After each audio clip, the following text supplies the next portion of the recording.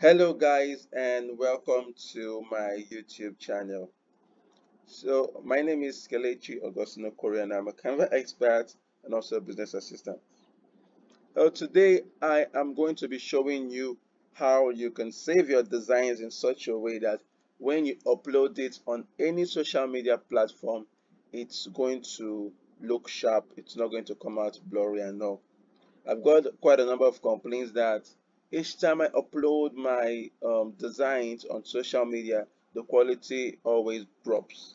How do I go about it? You're in luck because I'm going to be showing you the steps that I use. Not much, but um, it will be of help to you. Now, the first step, okay, is for those that um, are not using a pro account. If you're a free Canva user, this um, step is going to help you. Now, the first step, let's say you want to create an Instagram post, okay? You want to create a design with an Instagram post template. Now, the first thing you need to do, what you need to do rather, is to select the highest dimension. Now, the normal Instagram post, which is a square size, is 1080 by 1080. Now, if you want your designs to come out sharp, okay, you need to go for the highest the highest dimension for square shape which is 5000 by 5000 okay px all right? 5000 by 5000 px is the highest dimension. And when you use that dimension to create a design it's going to come out great okay? It's not going to come out blurry when you upload it.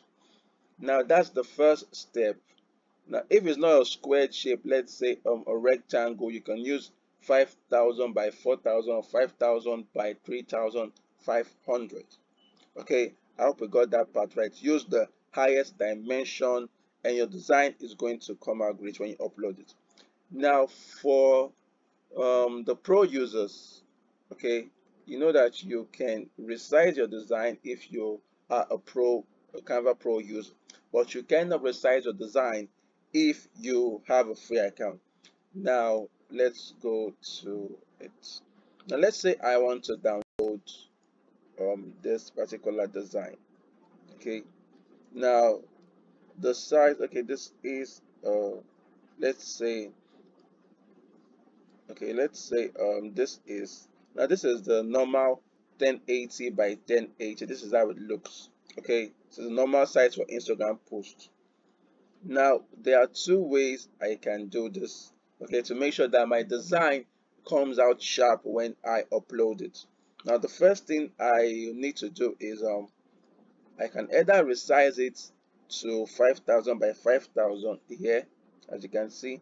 I can resize it to 5000 by 5000 px, okay.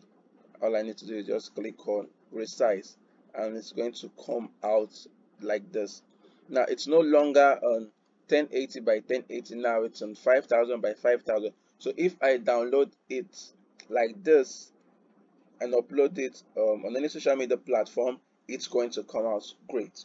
That is another step. That this is only if you have a pro account. Now the next um, thing that you can do is when you want to download where is my download button? I think it should be here. So it's just okay if you want to download if you notice here we have the sizes okay and it's on number one. Now I can increase it. When I increase it the quality also increases and um, the file size also increases. So now it's on 5000 by 5000 you know you can't go beyond this. Okay if you want to create a custom size you can't go beyond this normally now I can increase this to 1.5 it has changed to 7 7500 px increase it to um, number 2 the highest is 3 so um, if you download it like this the file size it's going to skyrocket. Like if it was supposed to be 5 megabytes for just a design it might get to 40 but if you have a lot of data to spare and you need a quality um, design when you upload it you should go for something like this. And as you can see um, this is 0.525 by 25 this is the normal one 5000 by 5000 as I increase it the size okay the dimension increases dimension increases. So you can try this method let me take it back to um, Instagram post let's say resize and download. See I can increase it increase it increase it increase it. Okay? And it's going to come out great. Now this is these are the steps that I've been using. And if you check all my designs you can just go on just search for Kelechi A Okorie on Facebook Kelechi A. Okorie on Facebook and check all my designs. The quality are always superb. Okay this is what I've been doing and uh, I know it's going to help somebody here. At least one person is going to benefit from this video tutorial. I am positive about that. Now this is the end of this okay? This is the end of this video. Now don't forget to like comment and subscribe to this youtube channel okay and also um turn on post turn on the notifications okay? So when i upload another video tutorial you are going to be notified. Remember um subscribe and you can also follow me on instagram at keloveaustin. okay?